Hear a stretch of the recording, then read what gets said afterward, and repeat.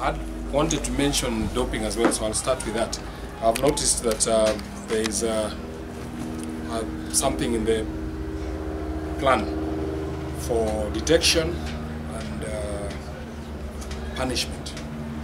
I would like to suggest that we need to go the extra mile. We need to maybe partner with the ADAK and also go into prevention, which is education, yeah, as opposed to waiting for it to happen, because that's always negative news once it happens. It's never good for the game.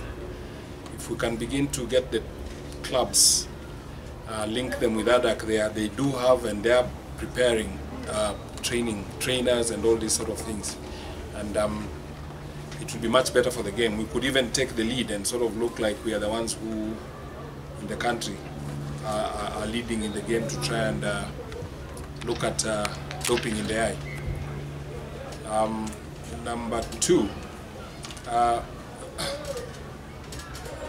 development. Um, rather, first of all, there, I, there is something about, we've said we want to get the Kenya team to the Rugby World Cup in 2019 and that is high performance. Um, we have had some tournaments, and uh, I do have an interest in a way, which have disappeared along the way, which I think need to get back in terms of getting the pyramid, of getting the best players to to play against each other as they head towards um, the the pinnacle of deciding who is good enough to, to play at the top.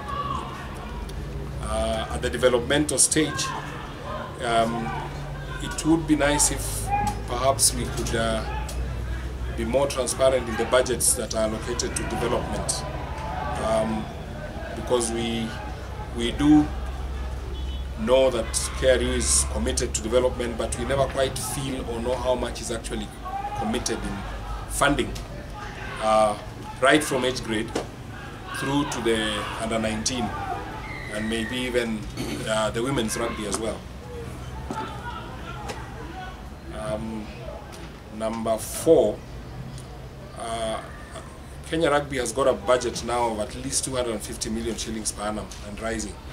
Um, whether you like it or not, you're a fairly big company by Kenyan terms in terms of small, small, small micro enterprises.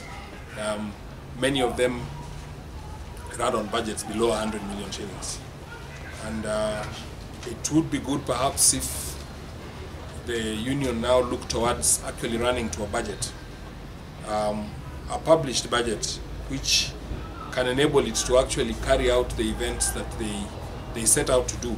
Because the feeling one gets is very often uh, um, the money is there, there are so many things to be done, but because there aren't things cast in stone, um, things that come at the 11th hour sometimes take, take over some of the funding, and many other things that perhaps should have been done don't get done. And one of the biggest casualties is always development. Thank you.